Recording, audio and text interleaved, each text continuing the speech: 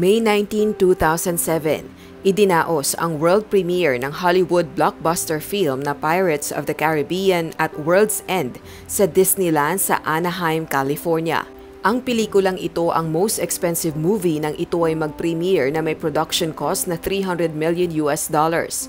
Dumagsa ang napakaraming tao sa Disneyland upang masilayan ang mga hinahangaang celebrity at mapanood ang premiere ng pelikula. Ang okasyon ay dinaluhan ng mga cast na kinabibilangan na Johnny Depp, Geoffrey Rush, Tom Hollander, Naomi Harris, Keith Richards, Jack Davenport, Jonathan Price, Chow Yun-fat at Orlando Bloom. Nagpaunlak pa ng autograph ang pangunahing bida na si Johnny Depp na muling gumanap bilang Captain Jack Sparrow.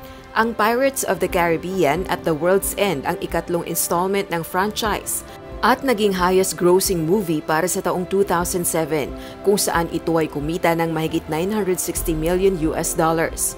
Naungusan naman ang Pirate of the Caribbean on Stranger Tides na ipinalabas noong 2011 ang Pirates of the Caribbean at the World's End bilang most expensive movie of all time na mayroong production cost na mahigit 400 million US dollars.